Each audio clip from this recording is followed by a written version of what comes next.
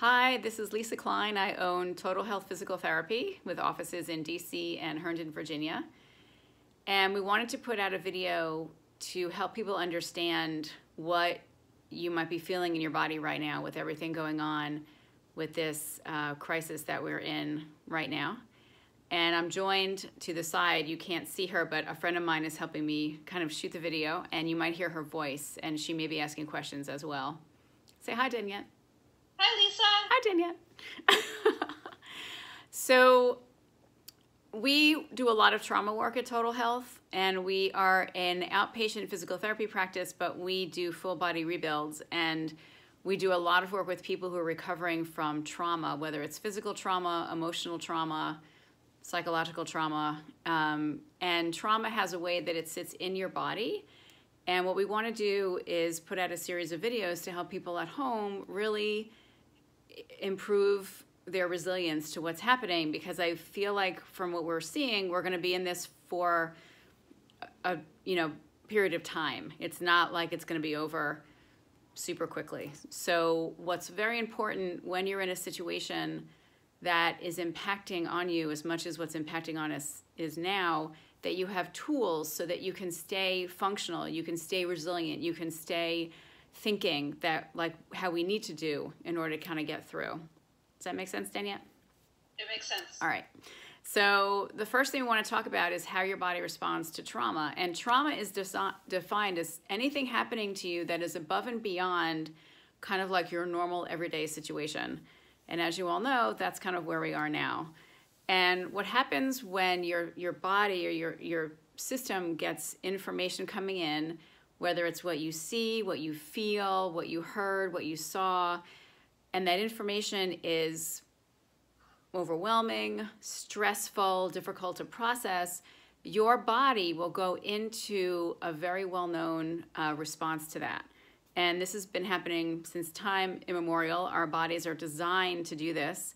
Our bodies are designed for survival, and our bodies are designed to go into a, a trauma cascade when the information that's coming in is a little bit um, much, as we would say.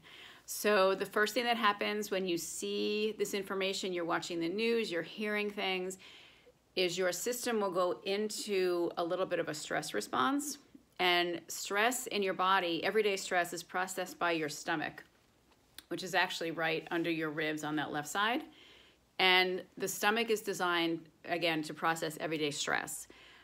Everybody's heard of the vagal nerve. It's getting a lot of good press. It's finally hired a good press agent because there's tons of really good press coming out about how important the vagus nerve is and what it does, and it's super important.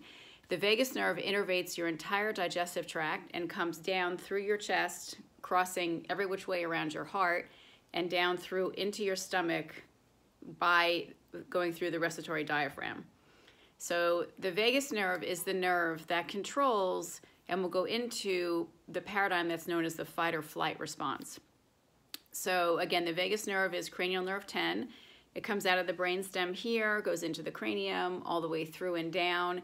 It's a very profoundly affected nerve. It's very active, and it is a nerve that goes right into your what's called the autonomic nervous system, what controls how chill or how not chill you are. I'm not chill right now. Are you chill right now, Danielle?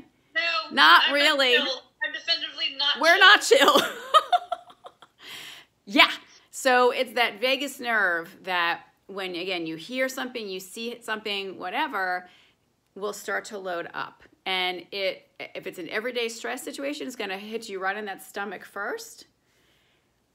The vagus nerve goes through the diaphragm, so the diaphragm is going to lock down and kick up also into your adrenals. So the adrenals are the little glands that sit on the kidneys like little hats, and they produce stress hormones. So they're the ones with the diaphragm and the vagus nerve that kick you into this fight or flight. So fight or flight means get me the hell out of here or ah. So I don't know about you, but my Megan, who basically runs my office for me, I'm driving her bananas because every I'm like, we gotta do this, let's do this, let's do that, let's do that. So this is that fight response of trying to desperately react to what's going on my attorney actually, he said, you know, you're fighting and you got to keep fighting, keep fighting. And I'm like, oh, I'm going to keep fighting. So again, when you're under this type of stressful situation, you can go into a fight response. You can also go into a flight response, like my friend Danielle, who's currently in Baltimore because she went out of she left. Whatever, girl. Okay, so this is fine. It's totally fine. I'm battling with this bottle of red wine. At the It's moment. fine. It's fine. We'll get to that in a minute. So, anyway, so your body will go into this response. Okay, now if this is a typical everyday kind of situation that's stressful, the ways to get out of that response are cardio, you know, running, walking, wine obviously will help. Um, you can get out of a stress response relatively quickly not one that's going to last for several months, but yeah, but that's what we're going to get to. So you can get out of it. Again, so for right now, if you're finding yourself in that type of fight or flight reaction, you want to get out, you want to go running, you want to do some type of cardio, you want to sweat, like get that out of your system and process it, and then you will start to feel better. All right, I'm trying not to get the COVID 15, so I'm going out every day, and I did a six mile walk yesterday, and I'm trying to get out and, and out and about and exercise so that I can keep myself calm. All right, so stress coming in, vagus nerve, adrenals, got it? So far, so good? Got it? Okay. Now, Got it. got it, excellent. Now, if that continues, if it's a lot of information coming in, then your body will pass through fight or flight and go into freeze. So freeze mode is called the dorsal vagal reaction. It's the vagus nerve basically like again, literally freezing, like a shock reaction. Okay, so um, me sitting on the couch watching RuPaul's Drag Race all weekend would be an example of that reaction. Don't judge me. It's with that. very inspirational. So, again, so there's fight, flight, freeze, which also is dissociation. Is so again, me, you know, watching TV, watching videos, um, you know, doing hobbies, which is all fine, all that's great. So, but if you're finding yourself in that type of situation where you cannot get off the couch, realize that you are in now a vasal, a uh, dorsal vagal situation. You've kind of gone into like a shock reaction. So, what do you do for that? We're going to present a video after this to give you some hands-on techniques that you can use to help your body with that. But there are great homeopathics also. Um, Rescue Remedy, which you can get at Whole Foods, is wonderful. We use uh, Calm 5 from Energetix is a great homeopathic for that. Fish oil. Uh, also going out, again, getting exercise is really good for that. But at that point, you've kind of gone into more of a neurological shutdown. So one thing that can help you in that situation is writing and journaling. So what I've been doing is writing lists and, you know, just writing things out. So I talked to my business coach today and um, it's overwhelming everything that we're having to do. It's just a lot, Danielle. It's a lot. So he says you need to write it down. You need to write lists. I'm like, that's great. And that way you can kind of break down what you're dealing with a little bit, business issues, home, school, whatever you're needing to do. So again, if you feel like you're becoming overwhelmed, then writing things down may help that a little bit. Okay, you need to do something to start to crack that neurological state of being locked down. Okay, so Can I ask again, you a question? yes, dear. So about the writing the checklist, do you recommend like you you wake up in the morning and like just get everything out of your head and write a big checklist, or something you do over the course of the day, or Uh, that's an excellent question. So danielle asked, when, how do you do this with the checklist? So if you're getting up in the morning and you're feeling very overwhelmed, and you don't know what to do, then you can absolutely do that. You can get up, and the first thing could be to write the checklist, which is wonderful. I've started um, doing yoga in the morning again, so I know Danielle from a yoga retreat. And something that's helped me is I get up and I do a 10 minute AM yoga series that's on um, Beachbody On Demand, actually. And it's been fantastic for me because it gets me moving, it gets me in my body, gets me breathing a little bit, and then I'll do my checklist. So, yes, um, however you want to do it, whatever works for you.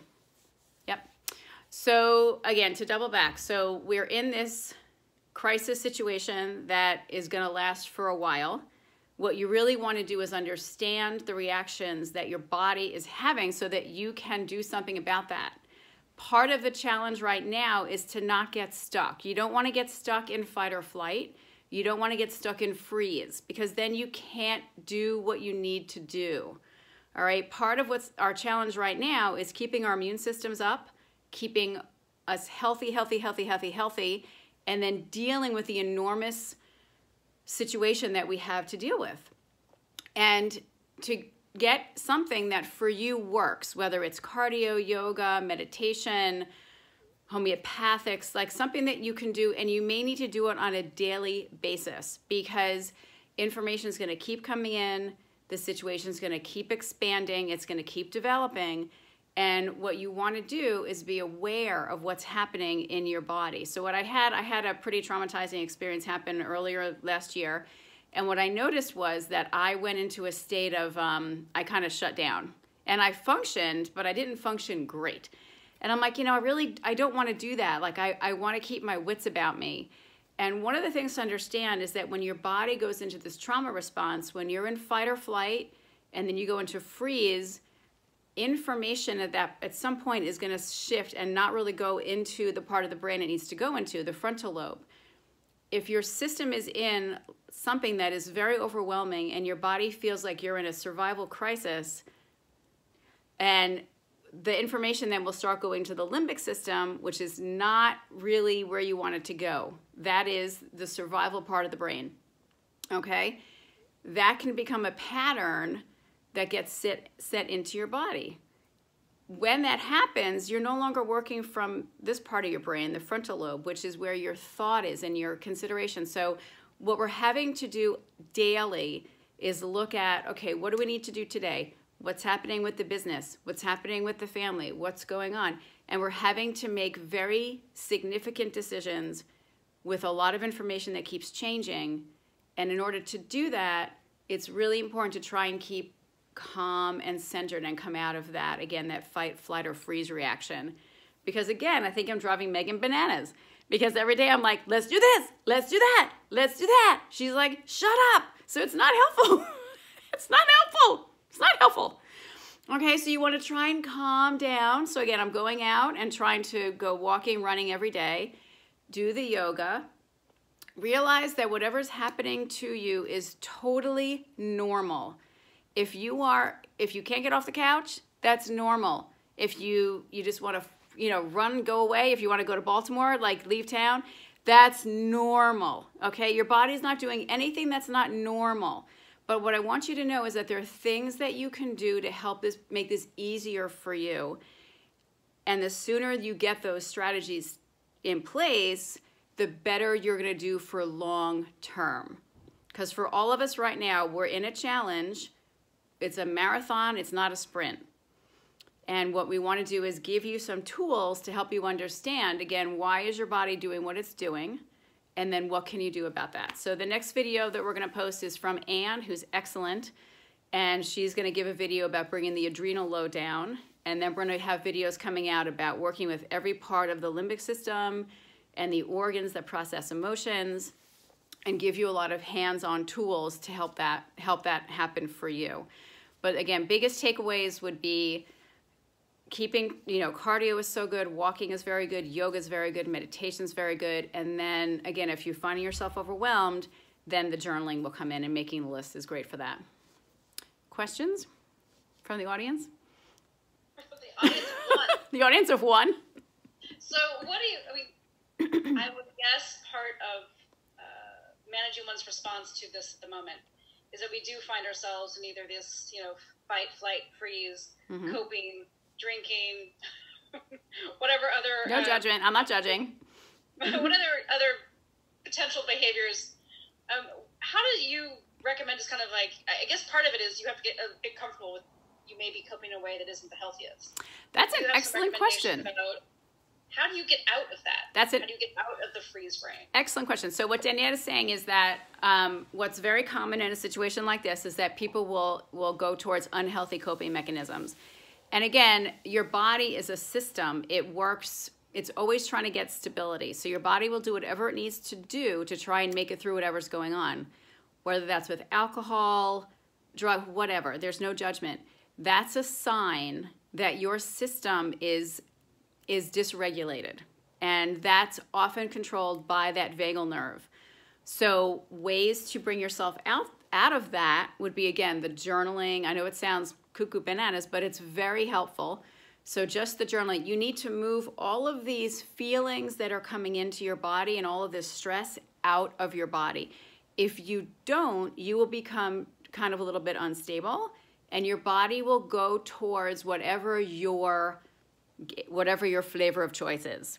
Whether it's watching drag queen game shows, um, eating chocolate while watching drag queen game shows, which is fine, drinking, whatever. Again, there's no judgment. It's just that just watch yourself. And that's a sign if if your body is craving these these coping mechanisms, it's a sign that it needs some help. Meaning, again, cardio, journaling, meditation, fish oil is great as a mood stabilizer, will help calm things down. Homeopathics, rescue remedy is great. Again, we use the Calm 5, something to kind of calm your body down. Okay? Your body needs a break. So try, again, I've started trying not to watch the news so much because it's just kind of, it's overwhelming. Not that I don't want to know what's going on, but it's so much. All right? So when you turn the news off, lay down, put your legs up, put on some music, put on a candle, and just see if you can just try and calm your body down. Again, we're gonna give you some hands-on strategies for that as well in the next video, but you need to flood your nervous system, what you see, what you feel, what you hear with something that is calming, something that is the opposite of the news. For me is RuPaul. So whatever works for you, okay? Whatever TV show, whatever. You need to try and like okay we gotta we gotta calm down. Again because this is not a sprint. This is a marathon. And the more resilient you can be the more helpful you're going to be to yourself to your family to your community and to the world at large. Because everything is kind of upside down right now. We need to keep our i was going to curse we need to keep our selves together okay in order to get through this, we need to keep ourselves together, give ourselves tools of how we can get through this, things that you can do every day. Good? All right, hope this was helpful. And our next video is gonna be, again, working on that adrenal load, and then we're gonna do more videos from there. Good luck, stay well, wash your hands. Bye.